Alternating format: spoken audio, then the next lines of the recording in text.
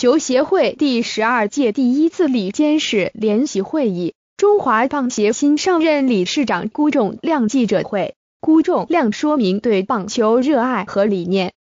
记者王毅松社记者罗志鹏台北报道，近年来中信兄弟引进大批外籍教练，今年包括史奈德在内有七人为外交，其中六人为美籍。中信慈善基金会董事长暨棒协新任理事长辜仲亮重申，美国棒球是全世界最强的，台湾应该要学习。辜仲亮提到，以前他在日本的美国学校念书，参加棒球校队，总教练是美国人，投手教练是日本人，球员来自世界各地，打得不错，和美日教练互动，学习到很多东西。特别是从美国教练身上学到很多长处、优点，这层留学打球的经验深深影响住辜仲亮。后来经营职棒球队，决定引进外籍教练团。他说：“我们要怎么改变自己？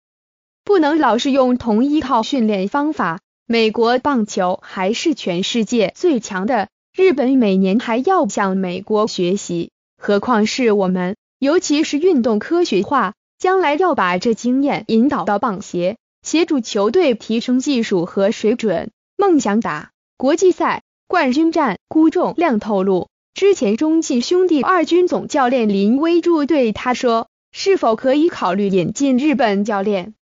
因为球员学习到很多美国教练训练方法和优缺点，若补进日本教练，更是如虎添翼。且日本教练和台湾比较接近。棒球文化交流是很好的事情。展望二零二零年东京奥运棒球项目，明年十二强赛和亚锦赛，以及接下来的东京奥运资格赛都是关键。目前日韩国家队总教练早已确定，且计划早已启动执行，但台湾队仍悬缺已久，教头何时产生？外界都在看。对此，辜仲亮说：“我现在还没有规划。”这事情重要，早晚要讨论。到时候选出来的总教练一定是大家都认同的。更重要的不是教练，而是我们要做的是帮教练做什么。例如搜集资料、轻搜、了解敌人是谁、长期布局、了解敌对，用科技帮助教练，